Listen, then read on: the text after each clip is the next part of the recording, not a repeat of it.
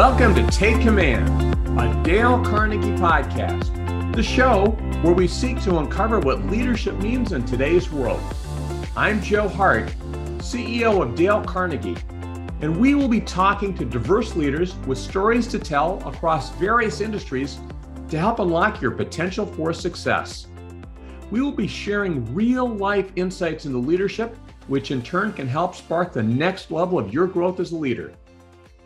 Today's guest is a person who has dedicated his life to military service, international diplomacy, and teaching countless young people to be strong leaders.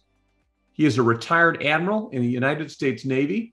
He has served as the chairman of the Joint Chiefs of Staff under Presidents Bush and Obama, and he is or has been a board member on multiple organizations, including General Motors, Sprint, the Bloomberg Philanthropies, Caltech, the Naval Academy Foundation, and Harvard Business School, among many others. Please welcome the 17th chairman of the U.S. Joint Chiefs of Staff, Admiral Michael Mullen. Admiral Mullen, it's such a honor to be with you. Thank you for being on the Dale Carnegie Take Command podcast. Thanks, Joe. It's really good to be with you as well. Well, thank you.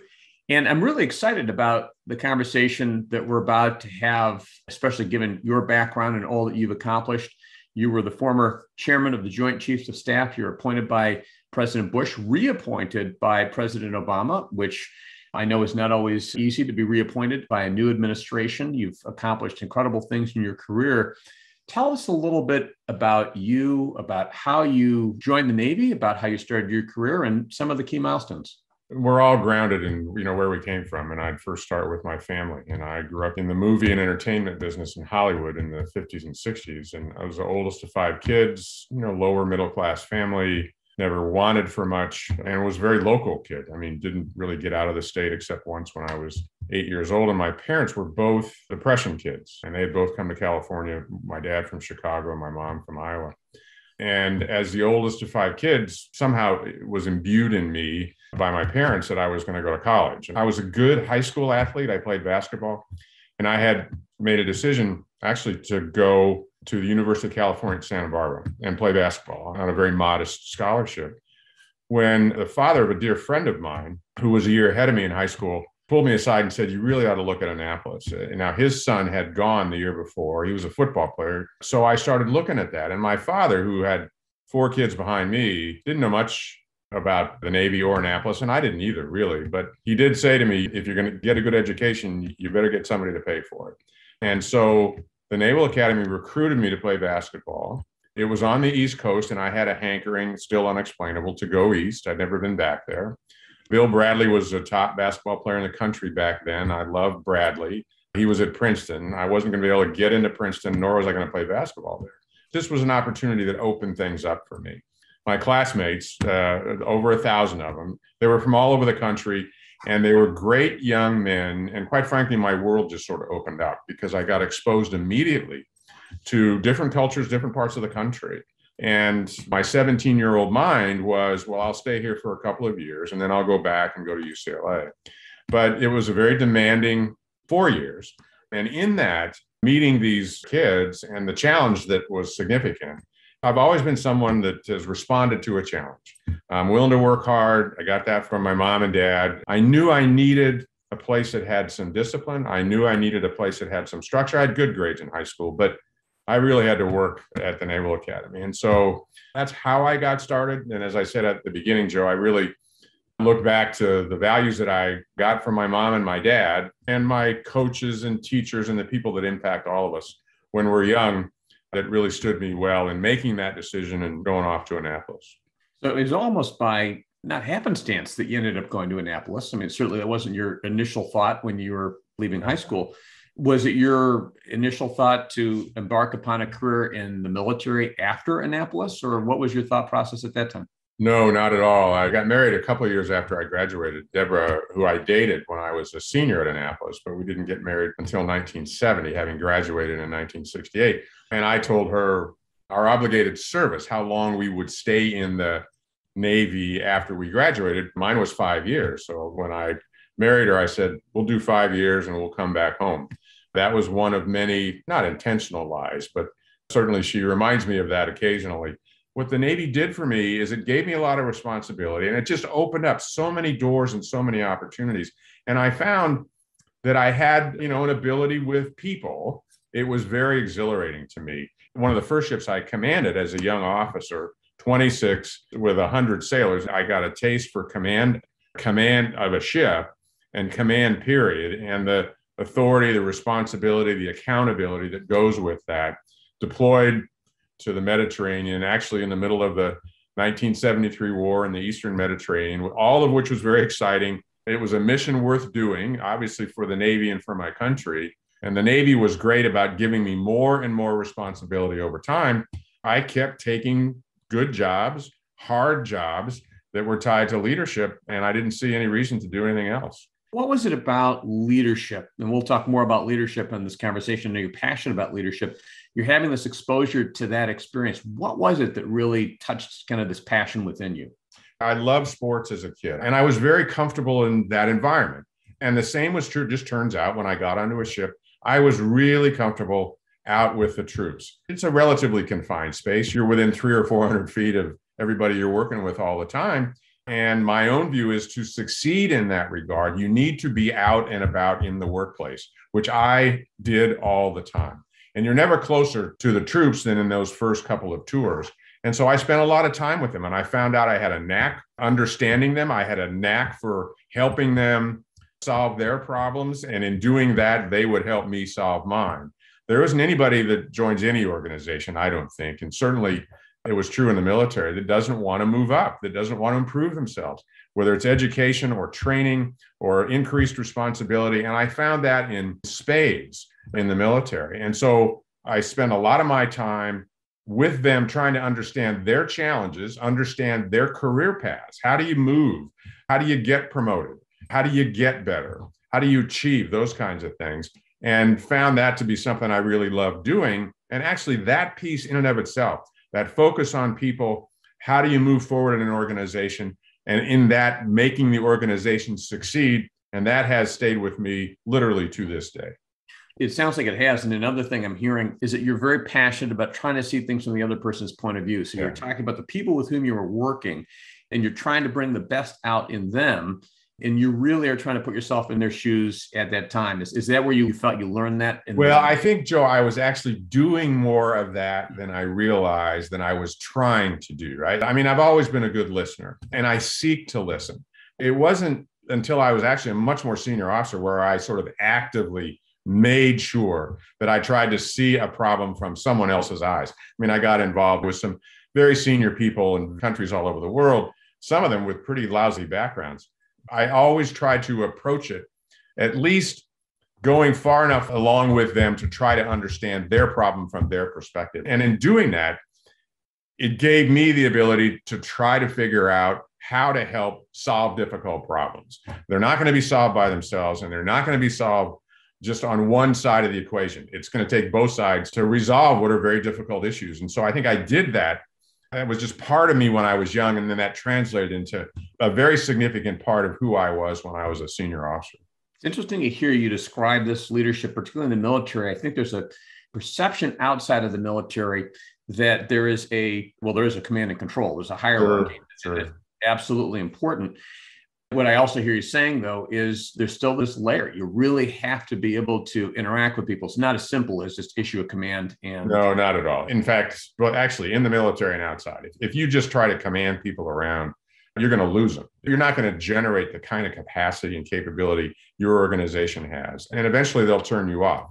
They may do what you say, but you won't stimulate the imagination. You won't stimulate the kind of innovation. You won't stimulate solutions you never even thought of because they really are tied to how you view the world and they're very supportive of you as a leader. If you are in a situation where they don't do that, then I think you're very limited in what you can do, you know, as a leader. And there is this perception, you know, long-standing about we'll just give them an order and they'll carry it out.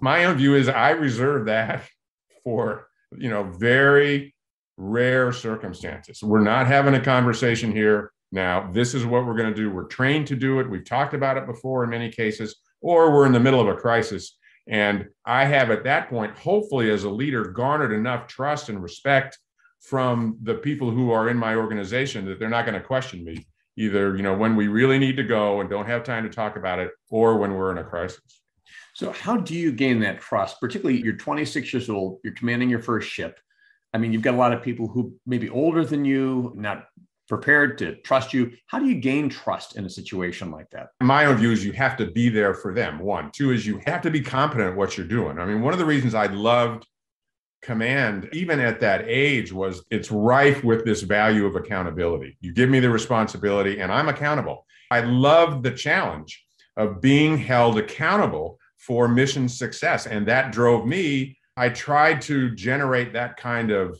feeling or that kind of responsibility and value in my team, if you will. So that's part of it. When you fail, it's yours. You know, it's mine as the CEO. Part of the joy of commanding a a ship, and I did that three times, is you're responsible for everything, the good and the bad. And when the bad occurs, you have to take responsibility, even if somebody else did it intentionally or unintentionally. And I love the scope and the challenge of that responsibility. And when you stand up for them, particularly in a situation like that, where you're not blaming them, but you're taking it for the organization itself, the troops will respond very, very quickly and trust you. And, and in my own case, the first time I got this ship underway, and again, I'm 26, it's 100 sailors. You know, I actually coming back into port, I hit a buoy. When you're on a ship, it's never good to hit anything, never good to collide with anything. And literally got an evaluation, which essentially ended my career. And a lot of people, including some of my mentors, said, You took too much risk taking this command early.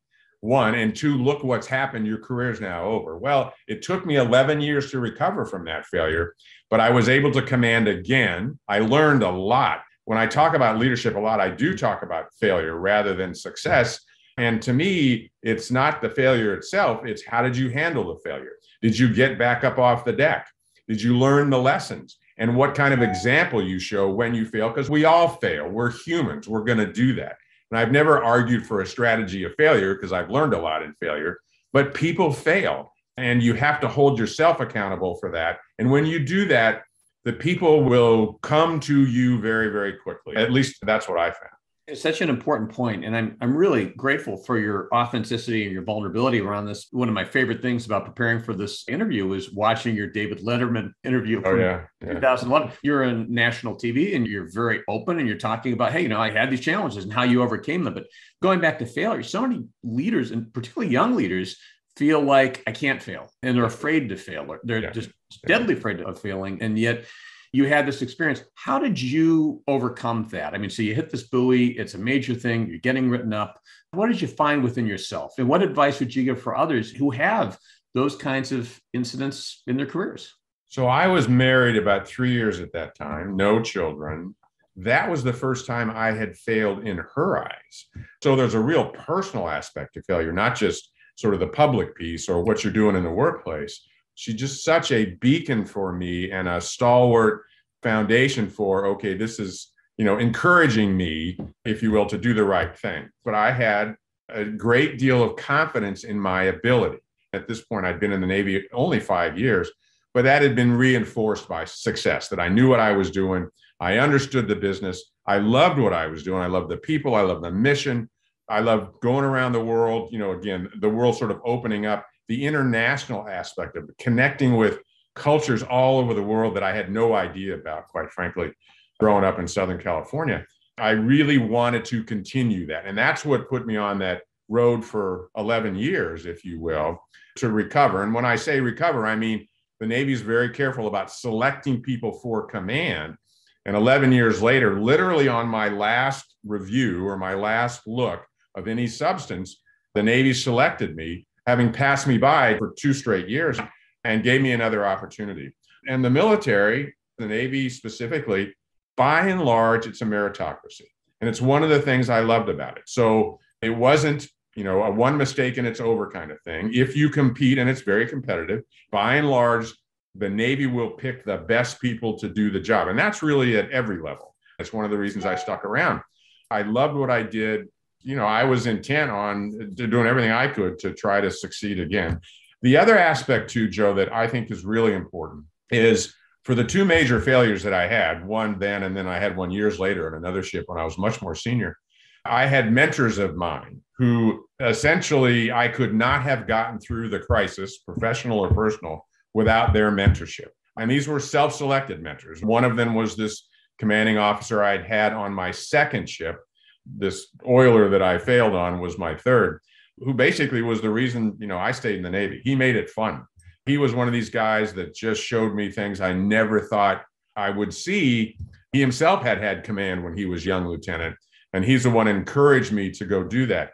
But he also had been around the system a lot. So when I failed there, he could help me navigate through the system. And it took me two and a half years to get the bad paper out of my record, as is the case now when I talk to young people about leading now and, and in the world we're living in in terms of emails and texts. I said, when you write stuff, it's there forever. And someone might tell you it isn't, but it is there in the digital age. 30 years later, when I'm retiring, this piece of paper was redacted from my record, never to be seen. All that's to say is it took this out of my record. It took me two and a half years to do that, and again, 11 years to recover. But this mentor thought I had a future. And the same was true later on when I failed. I had a couple of mentors then who were admirals at the time that thought I had a future and helped make way for me and give me confidence or reaffirm the confidence they had in me so that I could move forward. And without that, well, I wouldn't have been around after the first one. One of the challenges many people have is they want to do things themselves. They're afraid to take mentors. They feel like if they're accepting help from somebody else, and I've talked to a lot of people who feel this way. I felt this way at different points, you know, myself, but have since learned the value of working with other people and learning from other people. I mean, the mentors you had really were, it sounds like a key to your ability to push through that difficult time. The other thing I can't help but observe is that your character, I mean, you didn't have to just stay with us for a year or two. You stayed with it for 11 years. Yeah. And that must have taken incredible perseverance and persistence and commitment and so forth, which then leads me to another thought. I know values are an important uh, yeah. uh, part of your view of leadership.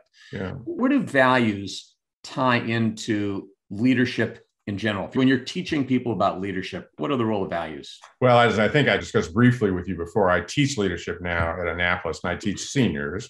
So these are the young men and women who are about to get commissioned and will go out and take those jobs just like I did over 50 years ago.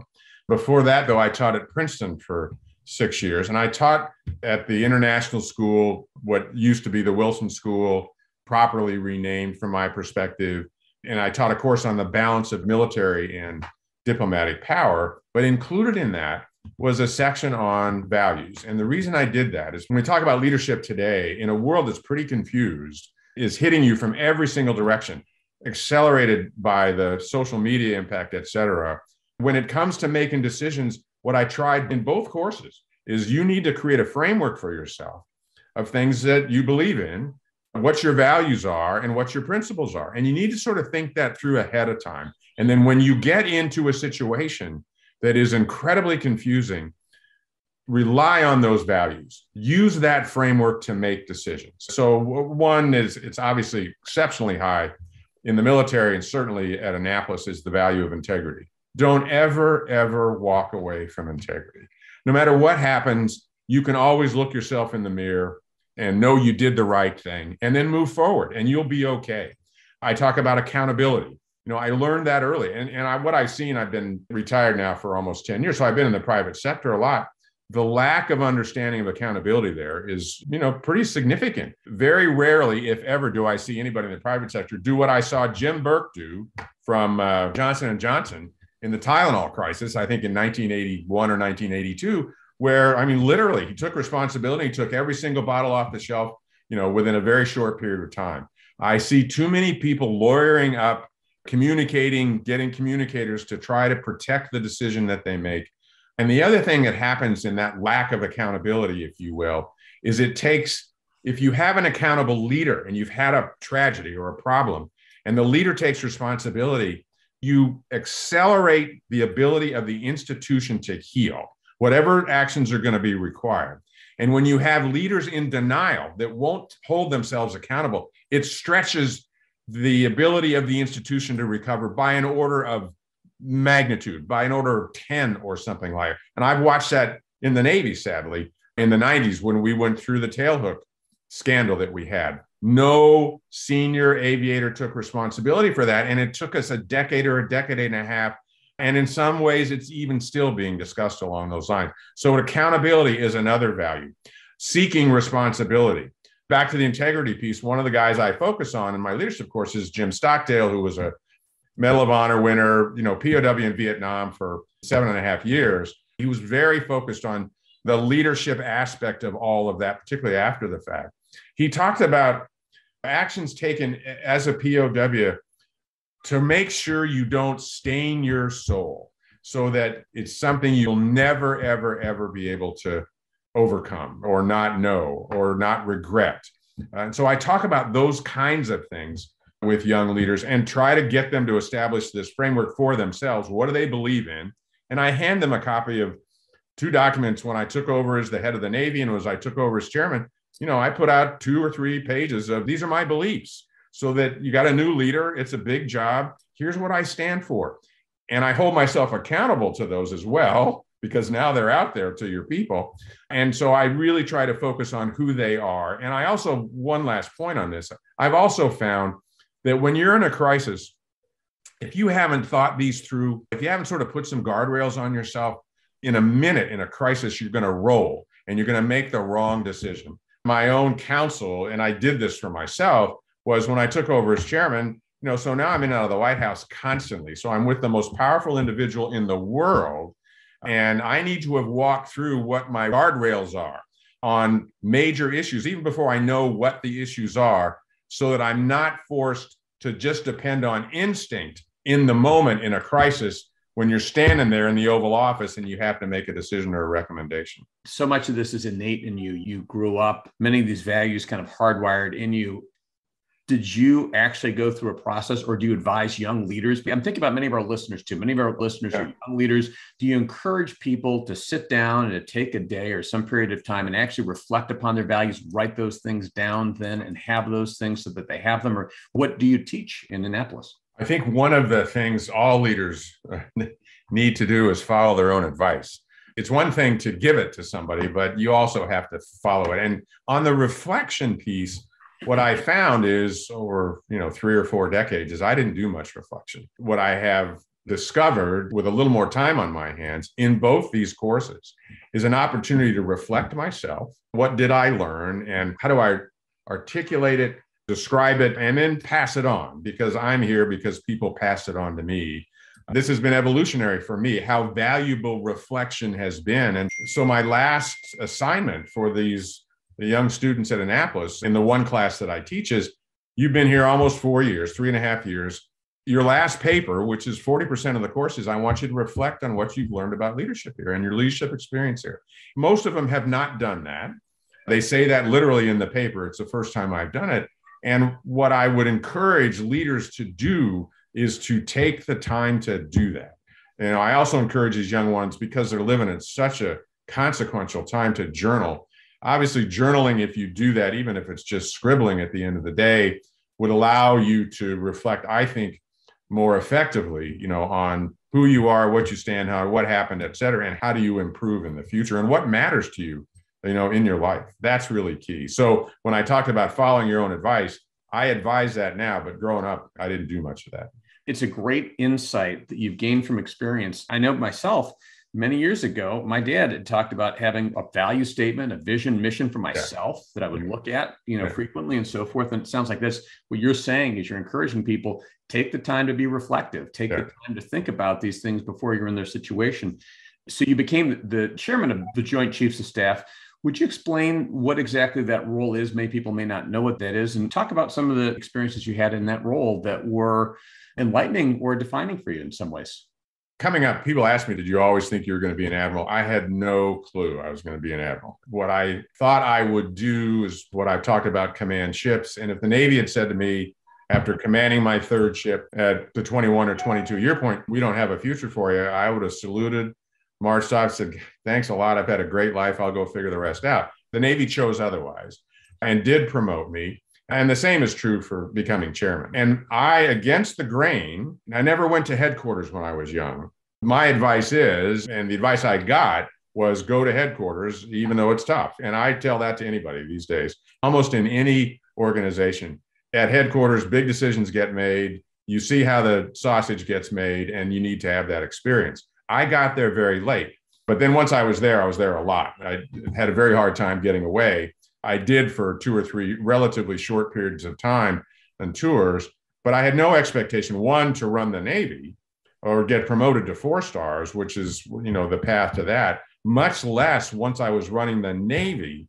Now, I'd been in the town, you know, 10 years or so. I was in the building, you know, at 9 11. The plane actually flew in under my office. I was removed by about 75 or 100 feet, but my two executive assistants looked out the fourth deck of the Pentagon and saw 757 fly in under their feet.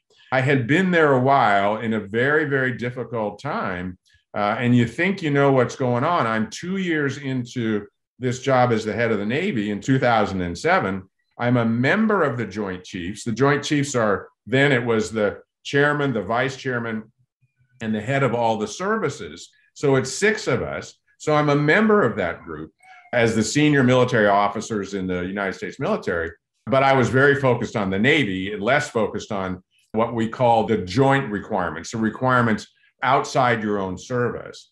And I was two years into that, and I thought it was going pretty well. I had a four year plan. I go down to see my boss, and this is a lesson for all of us as well. Certainly was for me. I go down to see my boss, who was Bob Gates, who had come in to relieve Don Rumsfeld in May of 07. And I had made the appointment myself to talk to him about something that obviously is of no consequence at this point. And I walk into his office, and the first thing I see I notice there's nobody in there with Gates. There's no horse holder around. Well, that was unusual. So I knew something was going on. And I sit down at this table next to him. The Gates starts talking to me.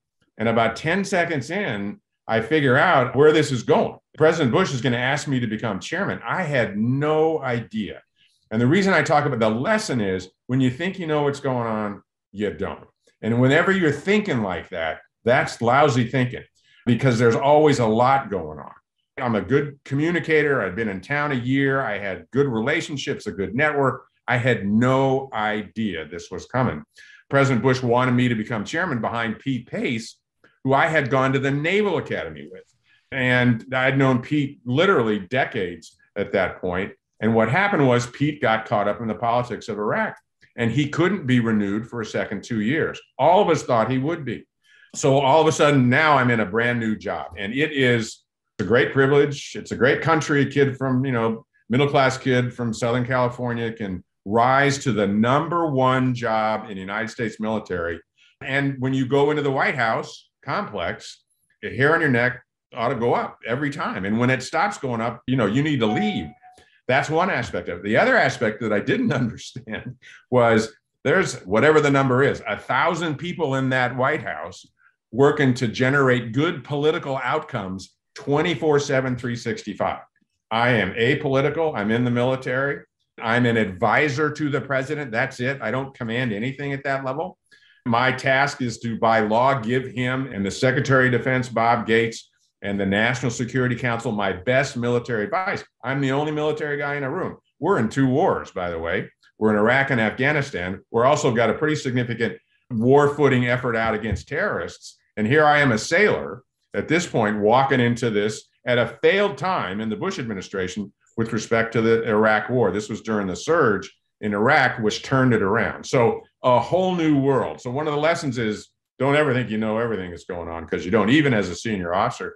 And two, how do you get ready for this? And I don't have a great answer for that. What I tell young people about getting ready for the future from a leadership standpoint is you need to take the toughest assignments you can possibly take. That's where you're going to learn. That's where you're going to fall on your face, get up.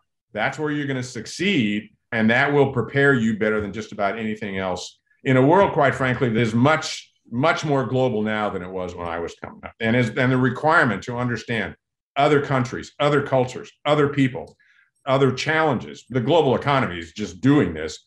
You know, we're all required to understand that. And to the degree we don't do that and stand off and just sort of expect it to come out well, I think that's a failed strategy. Well, there's so many lessons in what you've talked about, Admiral Mullen, and I could start in a lot of different places. Where I'd like to ask, though, is You were in this role, you were one of the Joint Chief staff yeah. members. You weren't expecting this appointment, you were surprised by it. President Bush could have picked anybody, any of the others who were there. What do you think it was about you, and what qualities did they see in you that said Admiral Mullen needs to be our person? One of the things that Gates has written about and has spoken publicly about was we're in two wars now. Now, this goes back to me to Vietnam. And when the war in Iraq started, I had two thoughts. Will the American people blame the United States military, which they did for Vietnam? And I'm of that generation, and I was in that war. And secondly, will we generate a significant cadre of homeless vets as we did after that war? For the first couple of years in the war, I pulsed that all the time, and I became convinced that the American people were not going to do that, and they didn't do that. For the second part, we actually have done that, and you know that's a subject for you know another conversation. The point is the scars I had from back then in the 60s, which was a very tough time. I brought that with me. Part of this was for me being in war, I knew the army bears the brunt of the conflict.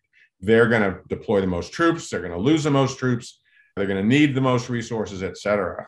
When I was running the Navy and had no idea that this other job would ever be something I would do or be asked to do, but I made a speech saying United States Army is the center of gravity for our military, and we all need to chip in to make sure the Army does well. Because when the Army does well, we all do well. And when the Army doesn't do well, we don't. Now, that had been my lived experience.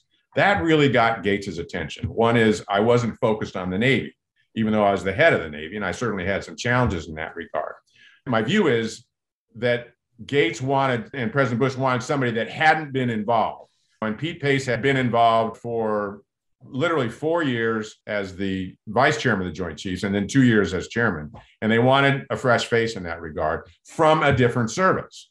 I mean, Gates didn't know me that well. And honestly, President Bush didn't know me that well. He did his own due diligence in that regard. And I had a good reputation in town. I had a good reputation, quite frankly, on Capitol Hill with both sides of the aisle. And I'm sure that was a part of it as well. So it was those kinds of things that led President Bush to make the selection.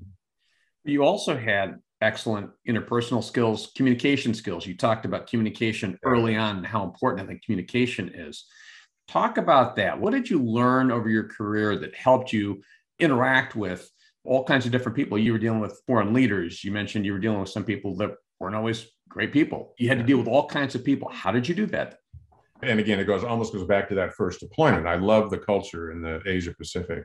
I just I love that aspect of it, and I wanted to learn more about that. So if I was dealing with somebody from that part of the world, I didn't have to make up that I you know love that culture. I acted that way; it was a part of me. So when I became very senior, the sensitivity to culture for me was huge, and to understanding challenges from another individual's perspective. And one of the things we don't do well in America, we don't do history well. So I encourage and have for a long time understand history better understand the culture that goes along you know with that history.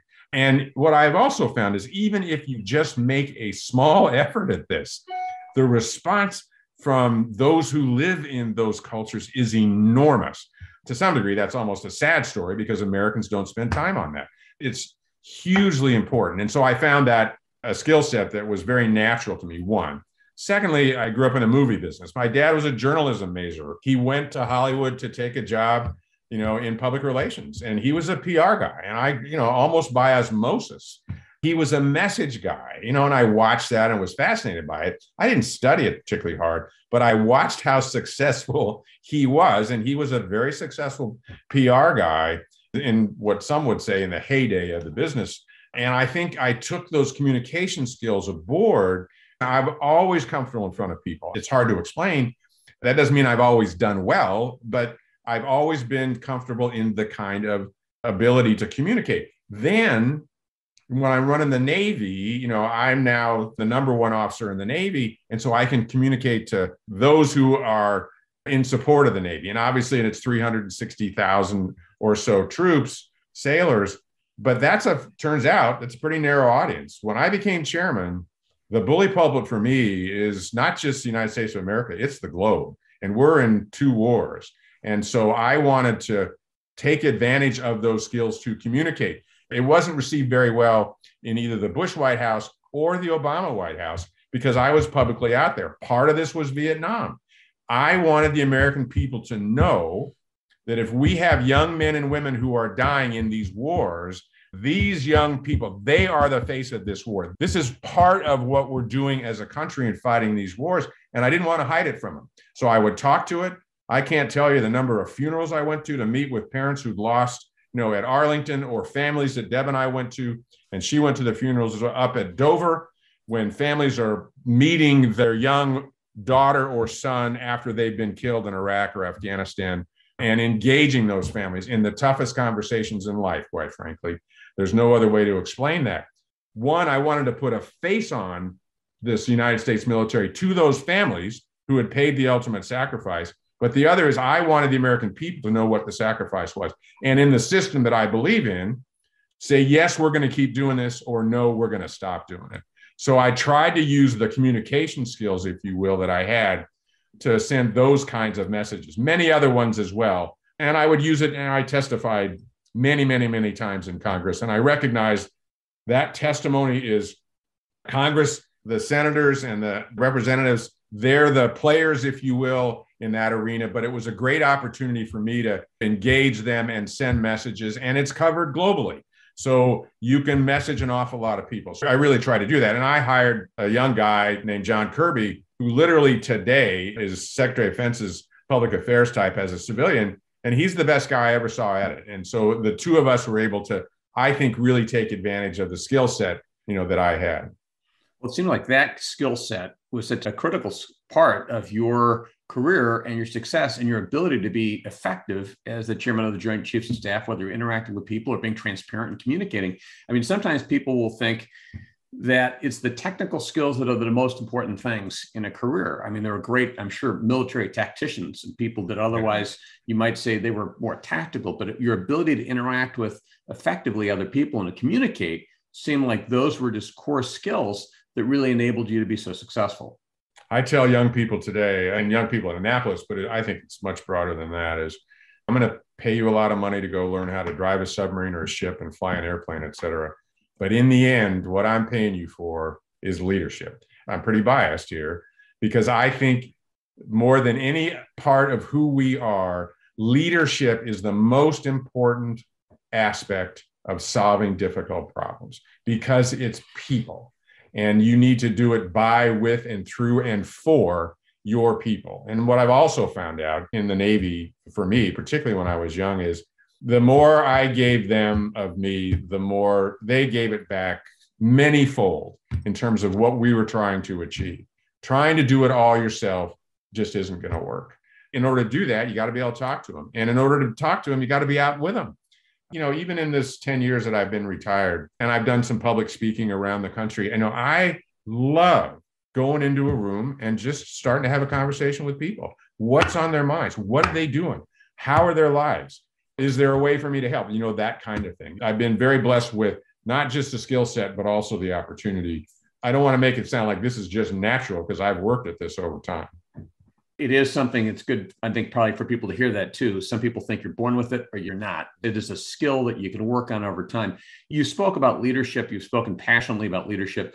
What does leadership mean to you? If you were to define it in a sentence or two how would you define leadership? To take a foreign organization in which you are leading and to have your people essentially trust and follow you to accomplish your mission and all that that entails well, thank you. And that certainly that's what you're teaching people right now in Annapolis when you teach leadership. Yeah.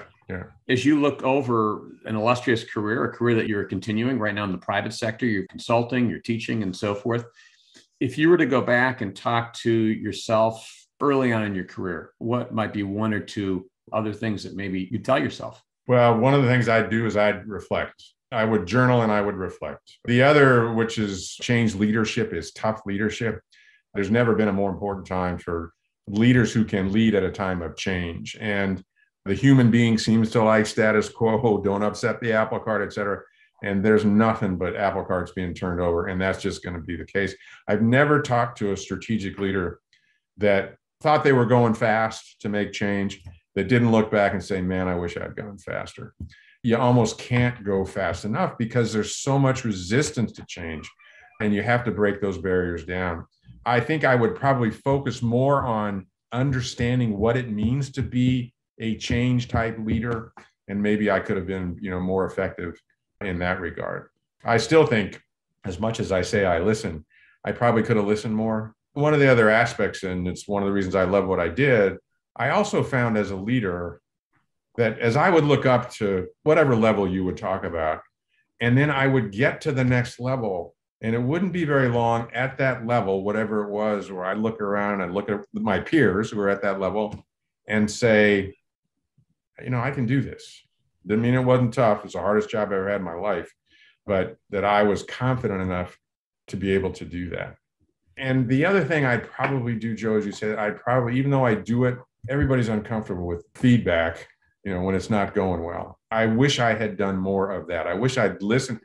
I tell leaders, you need somebody that can come in the room, close a door, and tell you, hey, that was bad, or this is bad, and listen to them. And I wish I had one, done more of that, and two, been able to get more comfortable even when that was done. And I did a fair amount of that. I had someone that I depended on to do that, two or three actually, that I depended on to do that and it was still very uncomfortable. One other aspect we haven't talked much about, but particularly as a senior leader, what I also found is the more senior I got, the more diverse backgrounds I wanted around me, the more diverse views I wanted in the room, that would help me more than anything else make the right decision. Well, that's a great quality as well, because many times people have this perception that they don't want to hear other voices. What you're saying is, I want to hear other voices. You talked about journaling and many people are intrigued about journaling. I've journaled for years myself, and yeah. I go back, I've got a decade or more of journals. But when you talk about journaling, what do you mean? What would you encourage people to be journaling about? We are living in extraordinary times, and this is history, and history is happening every single day. And your perspective on that, I think, will be important. One and two years later, you'll go back. The specifics of it remind you of who you were, as opposed to sort of this, you know, broader generalization oftentimes, or a lot of the details that we've forgotten. It does create an opportunity to reflect, to go back and reflect. And, you know, I mean, I'm 75, so there's a lot of self reflection going on right now just about life. Uh, but at this point, the only thing that matters are, you know, faith, family, and friends. Coming up, what you don't want to do is you don't want to screw that up permanently. I get there's a lot of other things to think about, but that's all that matters at this age for me at this point.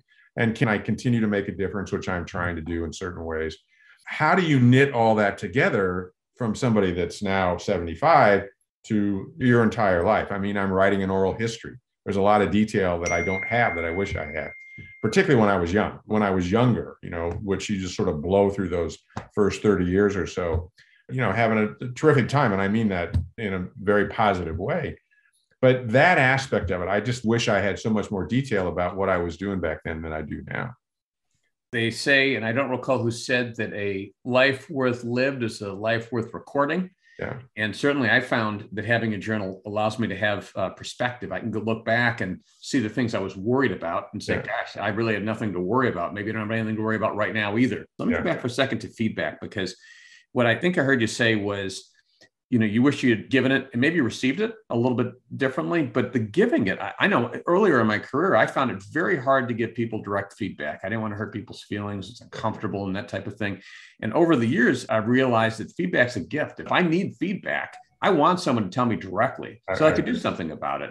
I mean, is, is that is that what you're talking about when you talk about feedback that you wish you had been able to give direct feedback, or was it more receiving, or both? Well, I actually I think it's both because it's hard to give. I wish I had done more of that. I wish I'd do more of that right now. I've got a couple situations with companies that I'm working for that I, as a board member, which is not sort of in the chain or in the line, if you will, that I look for ways to feed back to the leadership because of what I see that's going on as an example. It's just hard. It really is hard. That said, you know, I did a fair amount of it. I did back to sort of the command and control piece. One of my principles for those that work for me was the bigger you are, the harder you fall. It's easy to hammer the junior people. The more senior people, you give them a break. And I made it clear when I took command in any situation that was not true. My expectations for senior leaders are higher. You've been around, you've got more experience, you've got more wisdom, et cetera. And if you violate the rules, you know, the hammer's going to come down. There's not a lot of room for you. And I just seen the opposite, you know, for so long. And I also found out in very difficult circumstances with individuals who were doing poorly, you got to give them that feedback quickly. It's easier for me, much easier for me, and I did it routinely to feedback to my juniors, if you will, than it was to feedback to those that I was working for, depending on the relationship. And those can be tough conversations. And when you were talking about change, sometimes those are conversations that are required if we're going to move fast and change and be agile, right? Otherwise, we know if you've got a person who's not performing, you've got an issue, and the leader's afraid to confront it, everyone sees it. It says something about the leader, it can slow things down. Yeah. So, fantastic advice. You've given us so much. Any concluding advice for our listeners, Admiral? As much as people are concerned about the future, and because we've got huge challenges, I don't have to say a lot about that. And usually, when I talk to an audience, you know, we'll go through those challenges. We'll go through Q's and A's, and usually they'll be on really, really tough issues that there aren't really clear solutions on. And then someone will raise their hand and say, "You got any good things to say here?" You know, and this is going through these wars, and I've seen this again in the last 10 years as well. I was so motivated by these young people that I'm dealing with that I actually have great hope for the future. I think this younger generation, I think they're going to change the world. And I think they're going to change the world for the better. And they're going to answer the mail on an awful lot of these challenges that we have.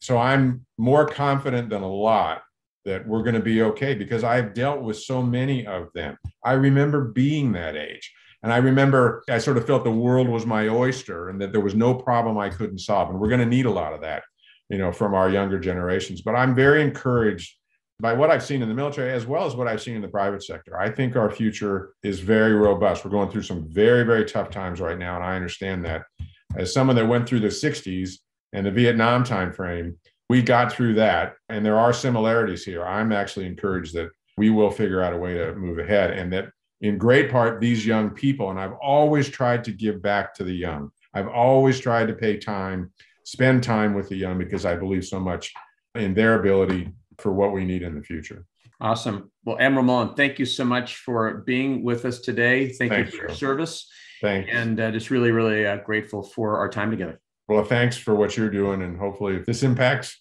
you know, one individual, it's more than worth it. I know that will. Thank thanks. you. Take care. I hope you enjoyed this edition of Take Command, a Dale Carnegie podcast. Check out our resources page at www.dalecarnegie.com for more research, insight, and tools that will support your success in taking command of your leadership potential. If you enjoyed this episode, please consider rating it and subscribing to us on iTunes, Spotify, Stitcher, or wherever you get your podcasts. As always, thank you for listening, and we look forward to you joining us at the next episode of Take Command, a Dale Carnegie podcast.